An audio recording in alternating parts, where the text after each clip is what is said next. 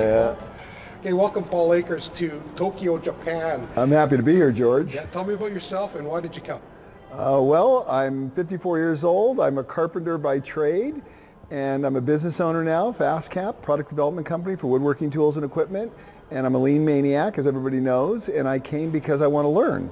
And I think that's probably the overall concept that most lean leaders have in common is they want to learn. We constantly want to learn and uncover the next cool thing that we can develop ourselves and our team by. And so I came to Japan so I could learn the next thing to move to the next level.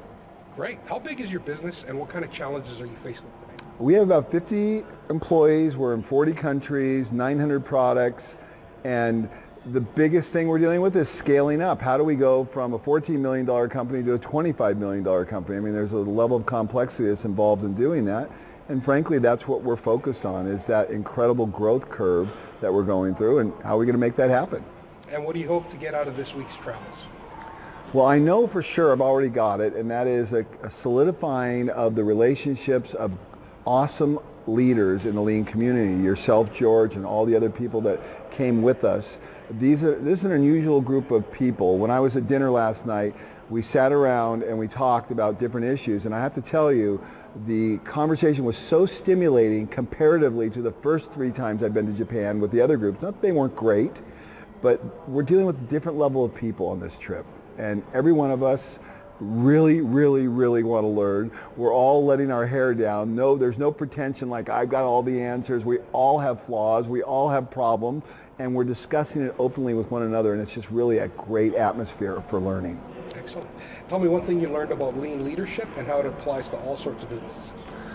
Wow, the greatest thing about lean leadership is you don't know anything. if you could just keep repeating those words after me, you don't know anything and there's so much to discover, you will be a fabulous lean leader. Excellent.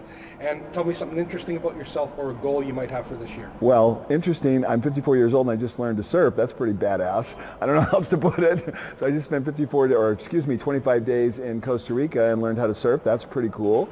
And interesting about myself, I'm, uh, God, I'm a wild and crazy guy. I don't know.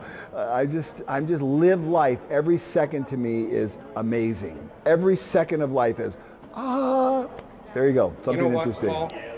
I'm so happy to have you here. All right, Take care, cool. buddy. All right. Yeah, Thanks, George. Bye. Okay, all right. So my name's Paul Akers. I'm the founder and president of FastCap Product Development Company. We make innovative woodworking tools for cabinet makers. I'm a cabinet maker just like Glenn. We started the same time, 1997. Started, is that when you started?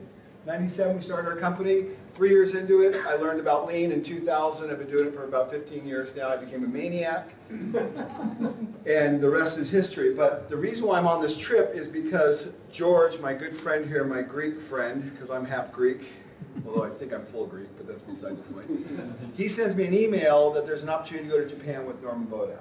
And literally within 30 seconds of seeing that email, I immediately called George back up and said, is this for real? He says, yes. And George hung up the phone, called Norman. Norman immediately called me back and said, yeah, Paul, you want to go, we want you to go.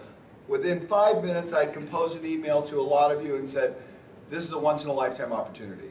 I've had situations happen in my life where I had the opportunity to do something and I made excuses why I couldn't do it because I was so busy. And this was one of those situations. I was so busy, I had to cancel trips. I had to cancel tours to my company. 60, 80 people were coming to my company and I said, no, you can't come to my company. I'm going to Japan. I'm not going to miss this opportunity. My wife walked in the door 15 minutes later after I sent the email. I said, she's been to Japan many times with me. She's very busy as well. Do you want to go to Japan with Norman Bodek? And she looked at me and said, yes, I want to go. Booked the tickets within 45 minutes. I came here, honestly, to walk in the shadow of this man, to learn. This is a once-in-a-lifetime opportunity. Look what he's doing to me. How do I, how Okay, Lerner, go give him a hug. Go give him a hug. What the heck? do I, I hug you, but I gotta kiss you. Did you find out if they have reflux here? So, I'm here in October. どうかし